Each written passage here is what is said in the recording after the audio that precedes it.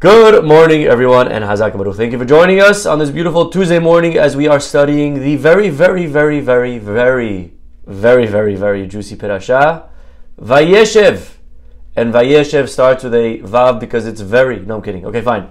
Here we go. Vayeshev Yaakov, Yaakov Avinu. And Yosef grows up, unfortunately, without a mother. you can imagine difficult times. And his father, Yaakov, of course, understands that he doesn't have a mother, so he gives Yosef a little extra love, a little extra treatment. No harm, no foul. But there was some harm, and there was a lot of foul play afterwards.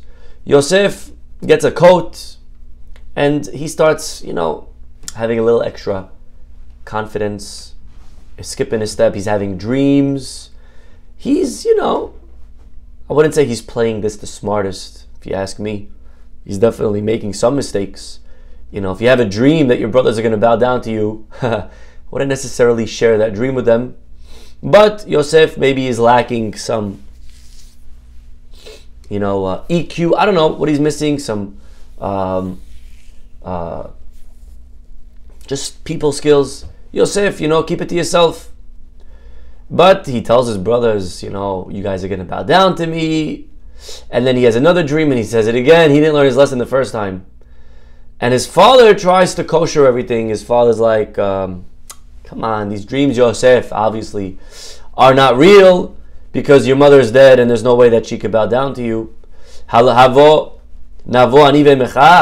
Could me and your mom actually come and bow down to you? Bottom line, the brothers were jealous. The brothers were jealous. There's no the pasuk's very clear about that. There was now friction, right? Friction between siblings. What's new? Nothing changed. Okay.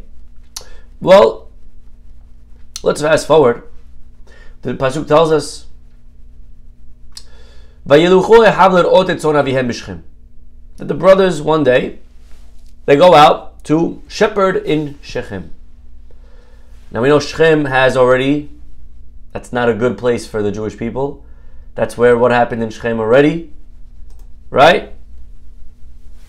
What happened in Shechem? Give it a couple of seconds.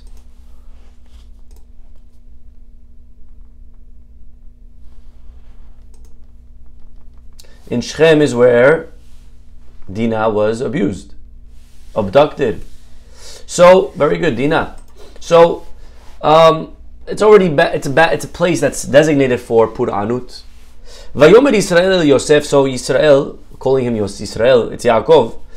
He says to his son, Your brothers are out in Shechem, go see how they're doing.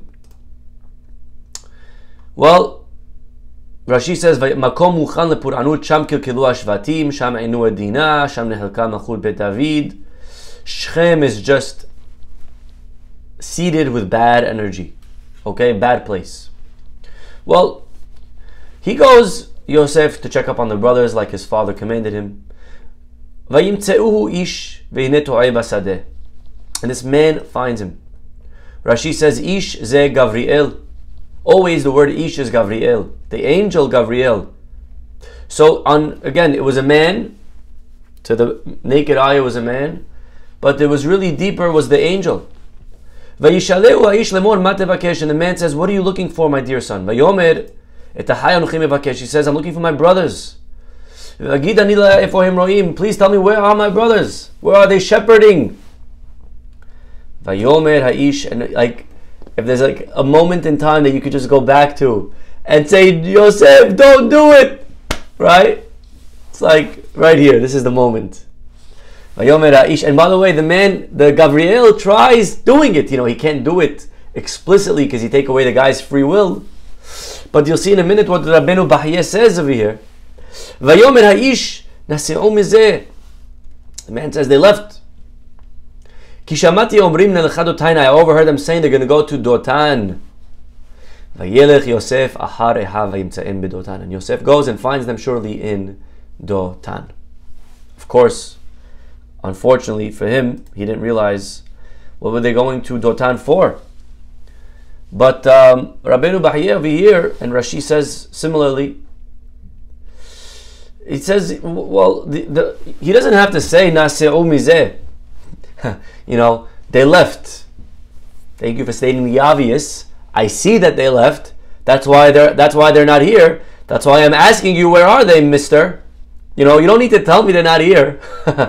like if you know, like you know when you're when you're doing like these school trips and it's like, okay, raise your hand if you're not on the bus. You know, remember those little uh, cute little jokes. Right? All right, say say here if you're not in the bus. Obviously, they're not here. I asked you why. I asked you where they are because I knew they're not here. Yosef says, "Where are my brothers?" The guy doesn't need to say they're not here. Uh, thank you. I can see that I'm here and they're not. So clearly, the angel when he says "Naseumi zeh," Explains Rabbeinu, Rashi says this, Hisiu atzman minahava. He didn't mean geographically, geographically, he meant as far as brotherly love. You, Yosef, are looking for your brothers? Well, I'm sorry to say, Naseu mizeh, they're not looking for you. They're not looking to make peace. They left. Not only they've left. Look at this, Rabbeinu Bachye.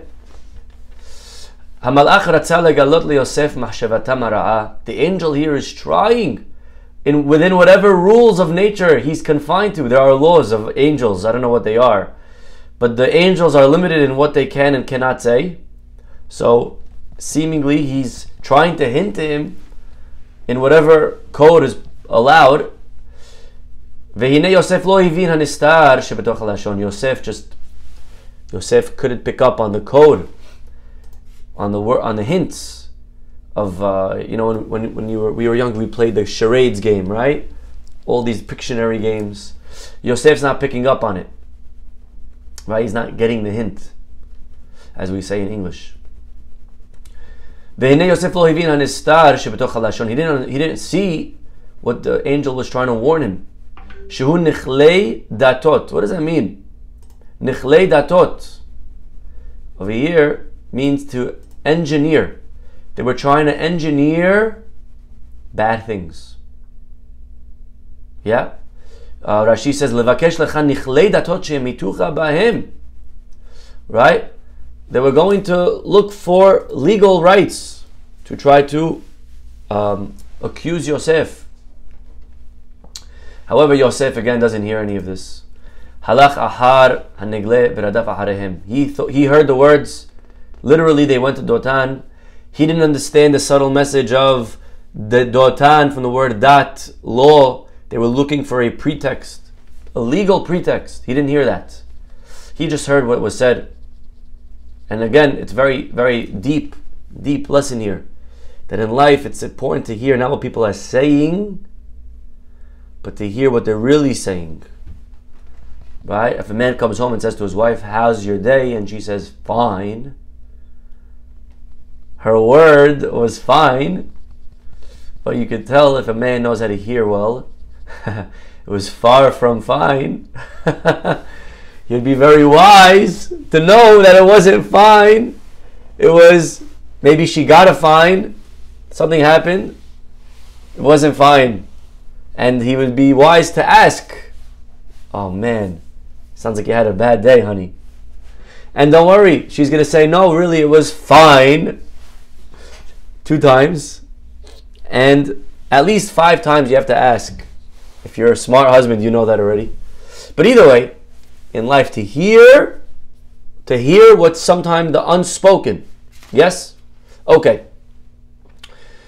Well, Behushamru Midrash, Nasu Umizet, really what the rabbis are saying in the Midrash, that they left here, Hisiu Atzmam, Min Ha'achva, they left the brotherlyhood love. Okay, well, anyways, Yosef Atzadik goes, and we know it's just bad news for him. When he gets there, the brothers, they actually, things happen that they try to do before selling him. We know they sell him eventually. But they try to kill him. Vaitnakelu lahamito, the Pasuk says. Pasuk 18. Vayiru merachok, they see him from far. Before he even got there, they tried killing him.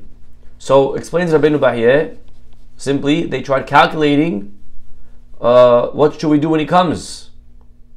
But they said, well, maybe we'll send dogs after him.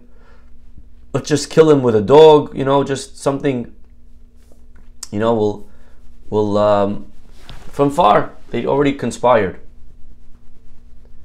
Al tabi adam, they weren't successful, says Rabbeinu Bachye. V'alken kshinitkarev alehem. Therefore, as he got closer, Amru lehorgo beyadayin, they said, okay, well, the dogs didn't work. Let's kill him with our hands.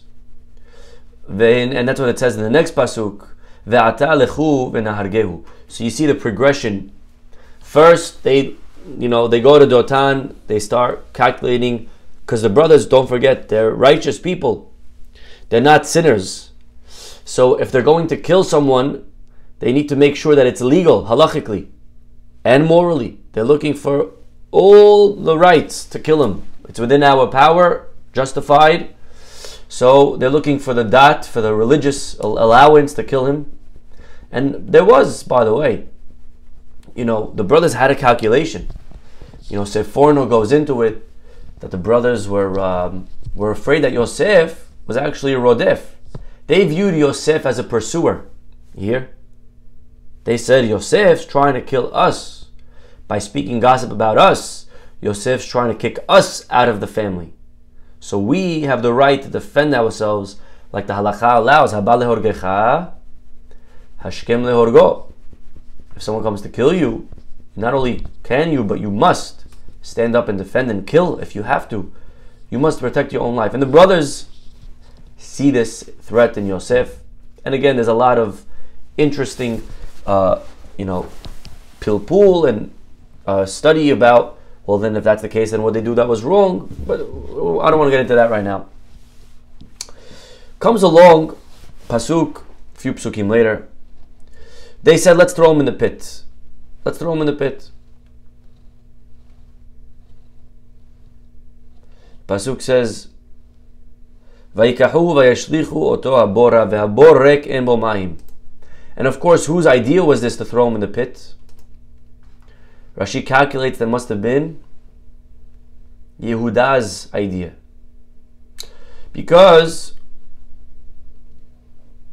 because uh, Reuven wasn't there, and Shimon and Levi were um, they're the ones that wanted to kill him. Vayomru ish elahiv. One brother said to the other, "Let's kill him." Who's where? Where else do you see ish elahiv? We find that last week by again Dinah, ish elahiv, Shimon and Levi. So when it says they wanted to kill him, it's talking about Shimon and Levi. So when another brother comes and says, let's not kill him, let's throw him in a pit, it must be the fourth brother in line, Yehuda. And you see why in a minute why I'm why I'm adding this, that it was Yehuda's idea. But I'm just trying to get a picture a little bit of what's going on. So look at this, my friends. We get to Pasuk 28. Pasuk says, um, let's not, let's not, ויאמר יהודה לאחיו, מה בית הכנרו כתחינו וכיסינו את דמו, לכו ונמכרנו לישמעאלים בידינו אל תהי בו, כי אחינו בשרנו הוא וישמעו אחיו. So Yudah says, you know what, instead of killing him, let's just sell him to Ishmaelim. Pasuk 28, and here's what I want to focus on. Vayavru anashim midyanim soharim. So these Midianites pass by. Vayamshechu vayalu et Yosef min abor vayimkeru et Yosef laishmaelim be'esrim kasef. They come by, they pull him out of the pit, and they sell him to the Ishmaelim for 20 kesef. Now, right away, you have to ask, who, who was the one that pulled him out of the pit? And and it's see it's very complicated pasuk. One more time, I'm gonna read to you the Hebrew and then the English, and it doesn't make sense. Vayavru anashim midyanim soharim. Traders that were midyanim passed by. Vayimshechu vayalu et Yosef menabor. And then they drew him from the pit. Vayimkeru et Yosef Ishmaelim, and they sold him to Ishmaelim for 20 kasef. So who pulled him from the pit? Who sold him? You tell me there's Midianim, then you tell me there's Ishmaelim. Very complicated. So Rashi, Rashi comes and says something that's not so not so clear when you think about it. Again, face value, what Rashi's going to say, uh, what is Rashi adding? But you'll see in a minute, it's not the opinion of everybody. Rashi says, Vayim Shechu, they drew him. Bnei Yaakov, the sons of Yaakov, pulled Yosef min habor, vayimkeruhu laishmaelim, and they sold him to Ishmaelites, veishmaelim the Midyanim, vemidyanim the Misrim. So Rashi says this is what happened. You ready? Follow me. The brothers pulled him out of the pit, sold him to Ishmaelim, who sold him to Midyanim, who sold him to Egypt. Got that? Should we repeat it? Okay, if you want me to repeat it, Venmo me $20. I'm kidding. Okay, one more time. The brothers pulled him out of the pit, sold him to Ishmael, sold him to Midian, sold him to Mitzrayim. Rabbeinu Bachya says, I don't know where you got that from. Because I read the Pasuk, that's not what I understood. And I'll read it to you again. And by the way, if I read it to you slowly, you'll understand that Rashi is actually saying something that's not simple. Vayavru anashim midyanim, midyanim passed by, vayimshechu vayalu et Yosef min abor. And they pulled him out of the pit. You understand? So who pulled Yosef out of the pit? Says Rabbeinu Bachya, this is the Rashbam, this is a lot of opinions. get it so we can read it the right way.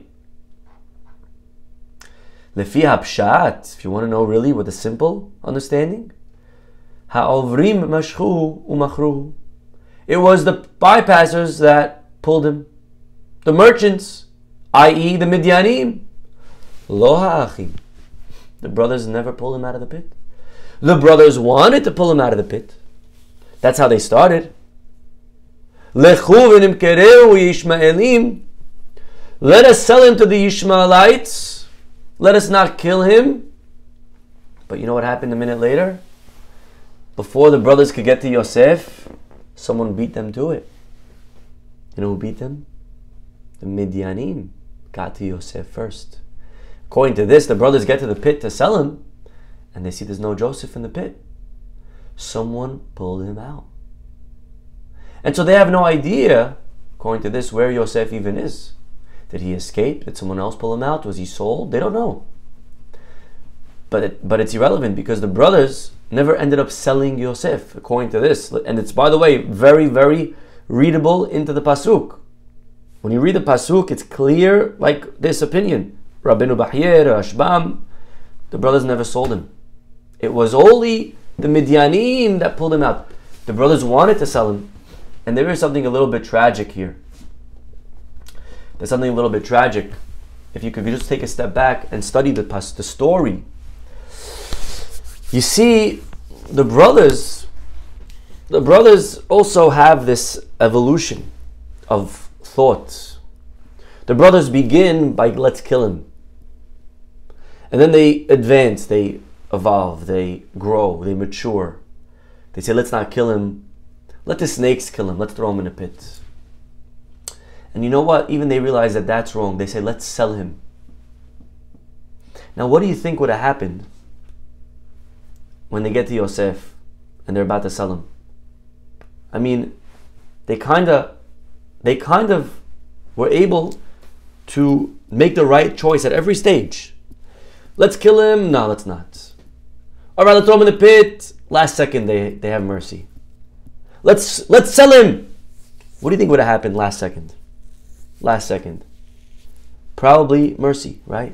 You could assume, you could assume that the brothers, the same way they didn't kill him and they didn't let the snakes kill him at the end, they may have they may have also not sold him either.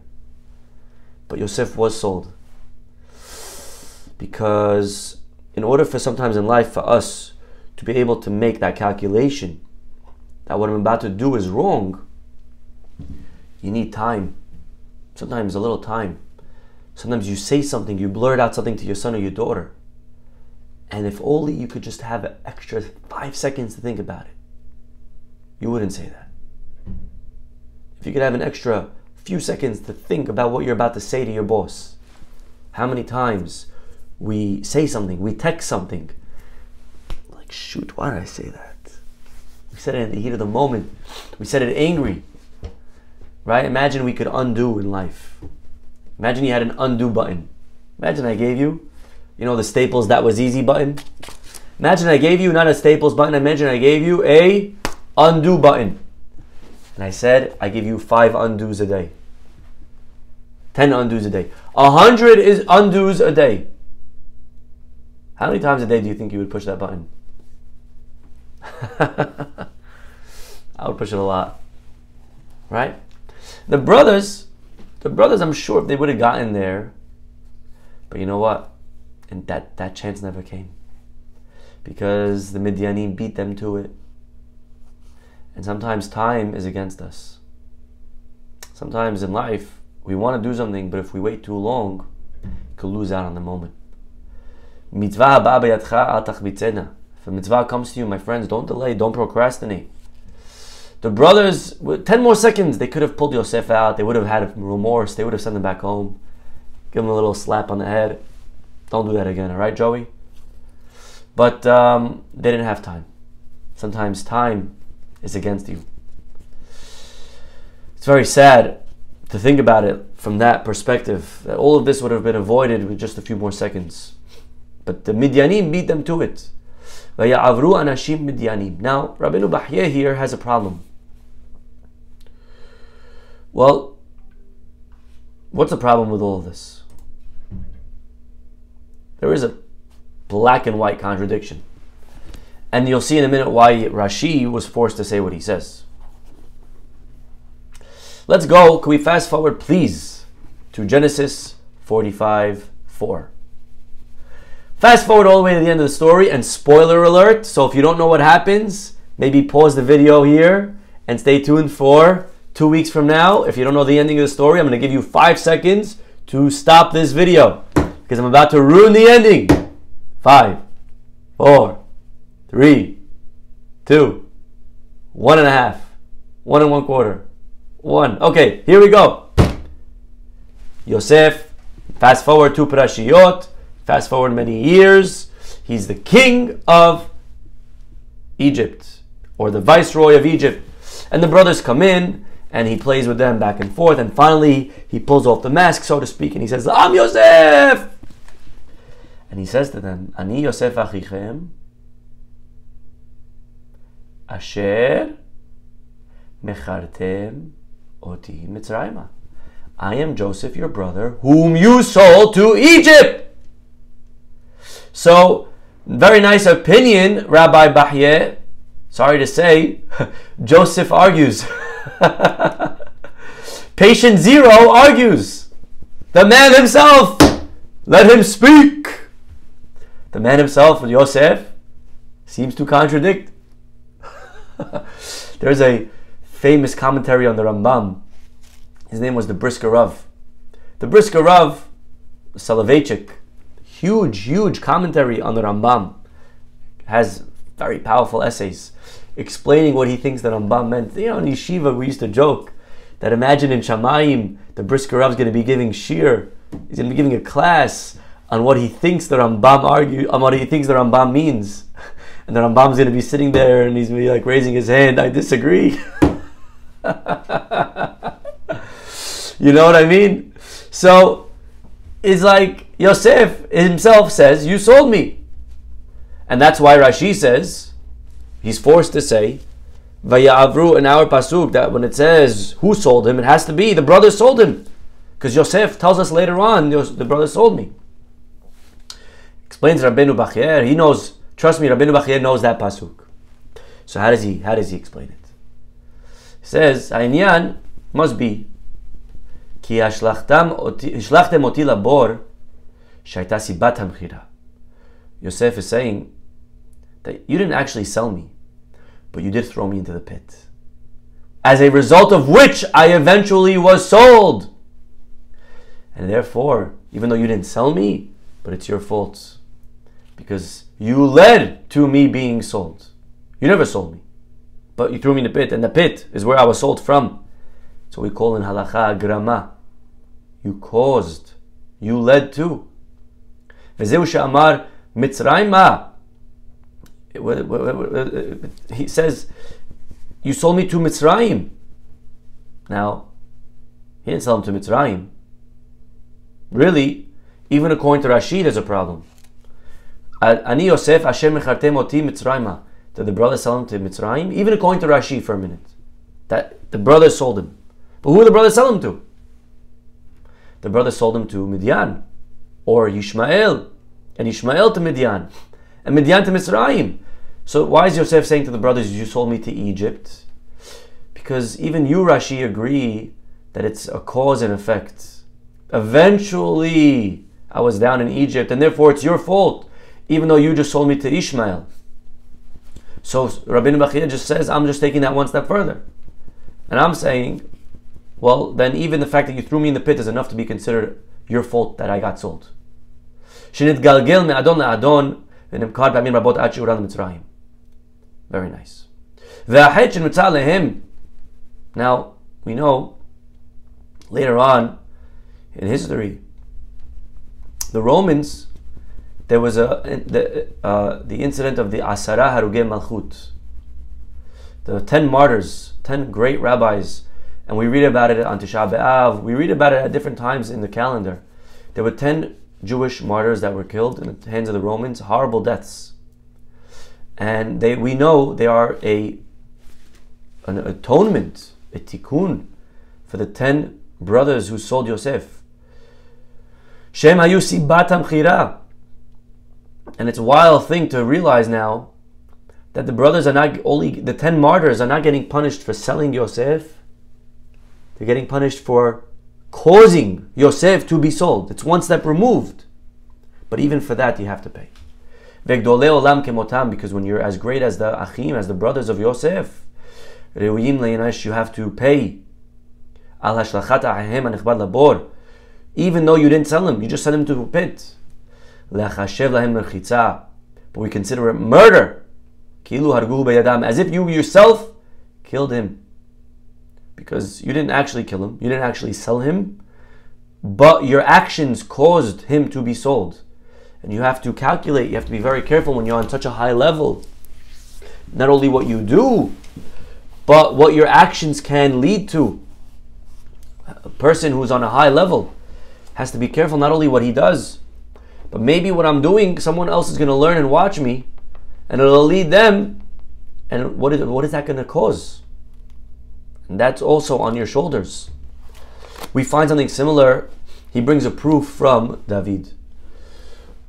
David Amelech, we know the story with Bathsheba and David, and he sees her on the roof, and he wants to marry her, and eventually he calls her husband Uriah um, to come back from battle, and he commands, he sends Uriah back home to be with his wife, Bathsheba. Uriah politely refuses, and that's a big no-no. You don't refuse the king. That's called mored b'malchut. So David's like, all right, go back to war, and he sends a secret message to the general.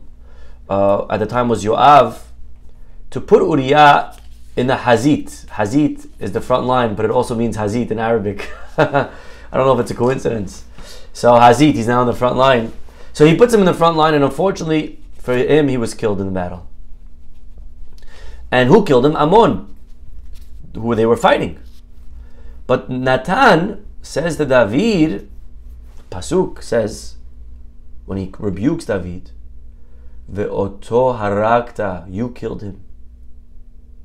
Now, did David kill him? I don't know about that. It's grama. En hefresh, says Rabbeinu Bacheh. Look at this line. There's no difference.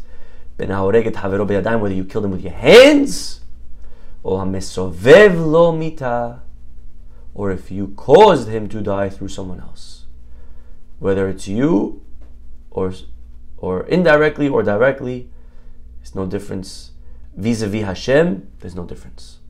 Maybe in the hands of courts, but in the hands of God, there's no difference.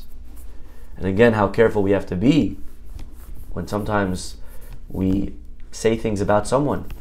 We could cause with our lashon hara, we could cause with our gossip, someone to break up. We could cause someone to lose a job. We could cause mahaloket, shalom bayit issues. We could cause uh, fighting friends. We could cause someone to lose money. We could cause someone to get hurt. I, I didn't I didn't do it. I didn't I didn't do it. I just said I just closed. But you can't call me guilty. At the end of the day, people have free choice. I didn't do it. They did it. In God's eyes, you are guilty. the brothers are guilty for selling Yosef, even though they never sold him. But you allowed for that situation to arise. Your guilt. Unbelievable. Now, there is a Rabbeinu Bahye. Let's see, we have a few minutes left. There is another Rabbeinu Bahye that connects to this, okay? So, I'm not leaving the topic. I'm staying on the topic, but I have to take you to another pasuk so we could gain a deeper understanding of really what's going on over here. So that's chapter 37, pasuk 28. That's all about the sale of Yosef, and we saw that the brothers who actually sold him and you know causing something. No, no, no. This is Rabbeinu Bahye. Okay, this is Rabbeinu Bahye. The Briskerov was a side joke that I said. If it wasn't funny, please ignore that one. Okay? Parentheses. Okay? Rabbeinu Bachye. We're on Rabbeinu Bachye's page today. Next. Now I'm moving, same topic, to a different pasuk. Chapter 38. Chapter 38. And now we fast forward after Yosef eventually winds up in Egypt. The story should have continued with Yosef that he's tempted by his mistress, Potiphar's wife. But, but, Pasuk doesn't go straight there. It tells us now a completely tangential topic called this episode of Yehuda and Tamar. At this moment in time, Yehuda also went down. And over here, Rabbeinu Bahya says, that Hayar Dabek Prashat VeYosef Hurad Mitzrayim. Really, we should have continued with Yosef going down, not Yehuda going down. Who cares about Yehuda? This is Joseph's story. What happened to Yehuda is irrelevant. Well, let's see what he has to say. Al derech midrash, according to our rabbis, samach la parashat Yehuda l'madcha shirdu ehav migdulato ksharau b'tzarat avihem. Over here, our rabbis explain that it's a cause and effect because Yosef was sold, Yehuda didn't just descend again geographically. Yehuda descended in status, in rankings. The brothers removed him from his position. When they saw their father in pain. They said to him, It was your fault. You, you thought of it. You thunk it to sell him. And if you would have told us to return him, we would have listened and it's your fault, Yehuda, and therefore go down. So Vayeret Yehuda doesn't mean that he went down south. It means he went down in status. But look at this. That's the midrash. Again, there's always layers. Look at this. Beautiful to see layers. Pshat, Pshat Yehuda went south. Okay, he went south. Drash, Yehuda lost. He went south in status in position. Kabbalah. You guys want to go a little Kabbalah today? For the Kabbalah fans, I know when I say Kabbalah, I could already sense your excitement through the phone. Everyone calm down. Okay. Kabbalah. Sit down for this one. Samach Perashat HaYibum. The Perashat HaMechira. We're about to go into the episode of Yibum. Levirate marriage. Yibum is when a brother dies, for those that are unfamiliar. When, a bro- when someone dies without having children, say a man marries a girl and there's no kids and he dies, so halachically the wife should do Yibum. It means she should marry the deceased husband's brother. She should marry her brother-in-law and they have kids. That's called Yibum.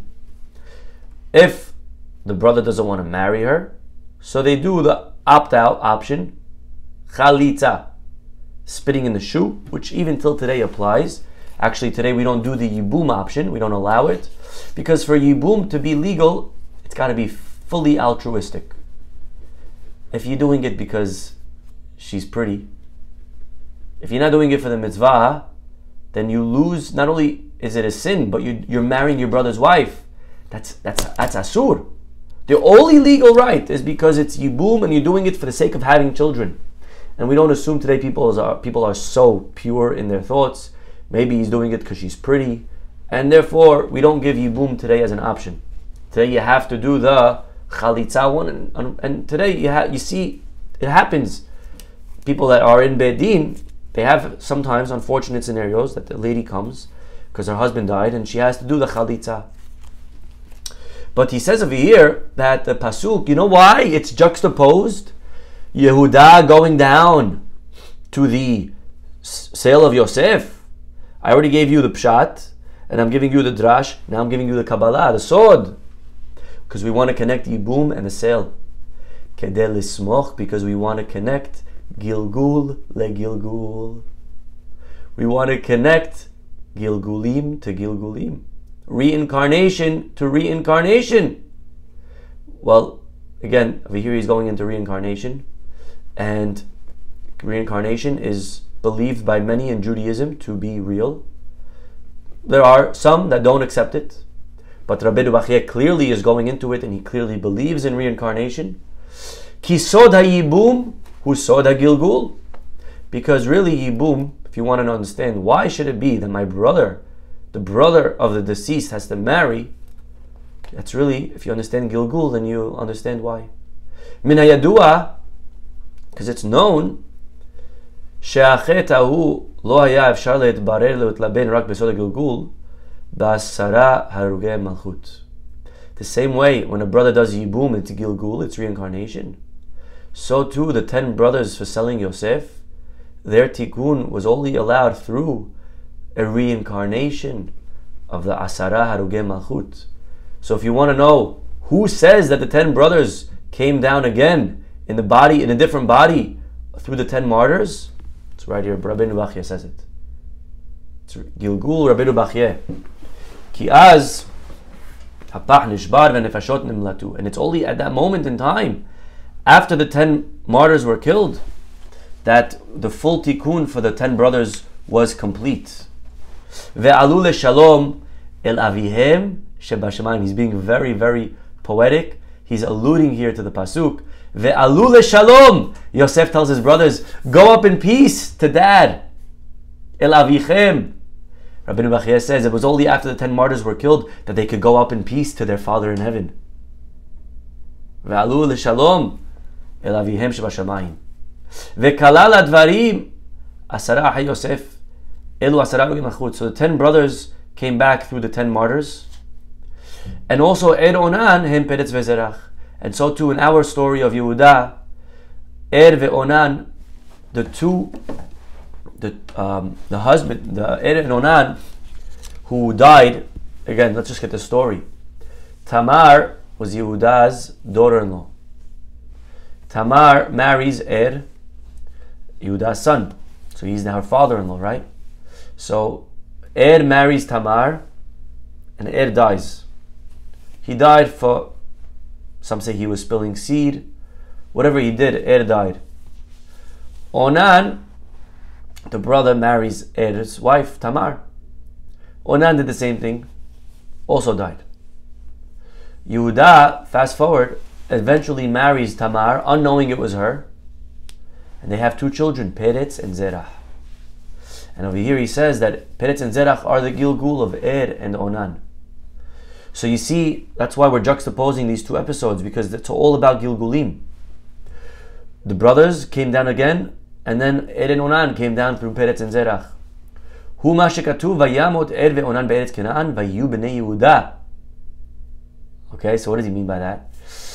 Um, let's fast forward, and I'll and I'll try to open the pasuk.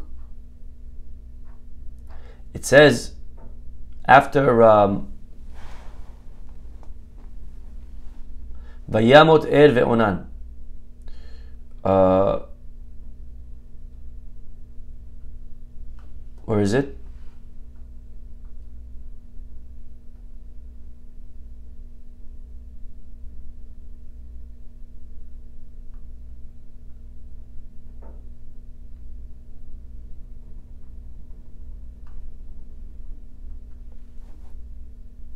This is in actually Bamidbar. You have to go to the book of Bamidbar, and it says over there, Er and Onan died in the land of Canaan, and the sons of Yehuda were, etc. But he's reading it and he's putting the period in the wrong spot. And basically, the way he puts the period, he says, Vayamot Er ve'onan be'eretz Canaan vayu b'nei Yehuda. Er and Onan died, and they came back as the sons of Yehuda. Okay, they came back a Gilgul through Peretz and Zerah. This is obviously something that you have to know Kabbalah to understand. Now, so very fantastic stuff over here. One last piece, my friends, and then we'll end for today. Again, same same topic. Now we have to understand why were there ten martyrs? How many brothers were involved in the sale?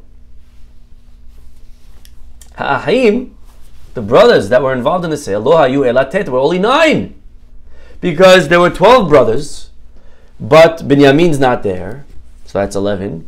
He's too young. And Yosef is the victim, so that's 10. And he says, Hare Reuven lo imahim. Reuven doesn't was was objected. He left to help his father. It's nine. So why do we have ten martyrs? There should be nine martyrs. Yeshlomar answer. Lefishagam Yosef hata. Wow. Whoa. You know who's the tenth? You know who's the tenth sinner? Nine brothers and Yosef. Yosef's guilty. The brothers was because of his instigation. By flexing his dreams, by going around and instigating, by wearing the coat in front of them. He was all being arrogant with his dreams. And therefore, you caused the brothers to sell you. You're part of the sale, Yosef. Again, you see, just tying it back to the idea of being a cause indirectly. The same way, it's the brothers' fault that Yosef was sold because they threw him in a pit. It's also Yosef himself's fault because he had the dreams and, and showed them off. Wow, wow, wow, wow, wow, wow. Unbelievable. So the tenth one is Yosef. Or Yeshlomad, possibly another answer, Shalom Ifkad Yosef Klal. It's not Yosef, but it's Reuven. But Reuven wasn't in the sale. He says, yeah, we're not punishing Reuven for the sale. We're punishing him for what he did with Bilhah moving of the beds, which was last week's parasha. And therefore, it's 10 the nine plus Reuven for a different sin altogether, but he still needed a tikkun for that sin. And that's what it means in Devarim when Moshe says about Reuven, Vehiyu metav mispar. He will be included in the number of the deaths. And he says that's a very deep, deep idea, but it's hinting to this point that Reuven's part of the ten because of what he did with Bilha Hayu Asara Im Reuven. And there I'll write a little bit more on this topic but his population will be included in the count. He's included in the count of the 10 martyrs because of a different sin of Bilha. But anyways, I mean, my friends, where, where, where will you find these gems? You ain't getting this in a uh, 10 minute sermon in shul, I can guarantee you. This is uh, deep stuff. Baruch Hashem, we have these classes that we can dig a little bit deeper. A little bit deeper, Baruch Hashem. Um, so, a lot of lessons for today. You know how careful we have to be not to cause things. How careful we have to be to let, not let time go against us. Uh, we spoke about gilgulim we spoke about uh, the brothers and Yosef himself being part of the guilt. You know uh, as an example when they say lashon hara lashon hara there's three people that are guilty the speaker the listener and the one who you spoke about why what do you do so that's that's this idea because you spoke about him, he gave himself a reason to be spoken about by doing something negative in public. That's his fault. That's his fault. Again, what if someone it's if if he didn't do anything bad and you're just lying, then it's not his fault. That's not even lashon hara. That's a different category of motzi shem ra. But either way, either way, a lot to talk about. Hashem should bless all of you. Have a wonderful, wonderful day. We'll see you all tomorrow, God willing. Bye bye.